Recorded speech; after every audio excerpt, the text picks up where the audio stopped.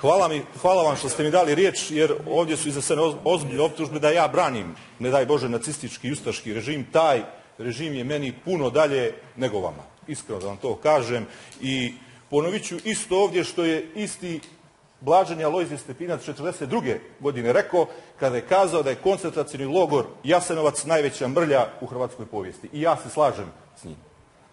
I rekli ste tu puno neistina, ali kako smo ograničeni, kako smo ograničeni, ograničeni vremenom, čitajte židovsku povjestičarku Ester Gitman, pa ćete, ako imate, ako, ako se ne ponašate prema povijesti kao kad uđete u samoposlugu, pa samo uzimate ono što vama treba i odgovara u tom trenutku. Hvala.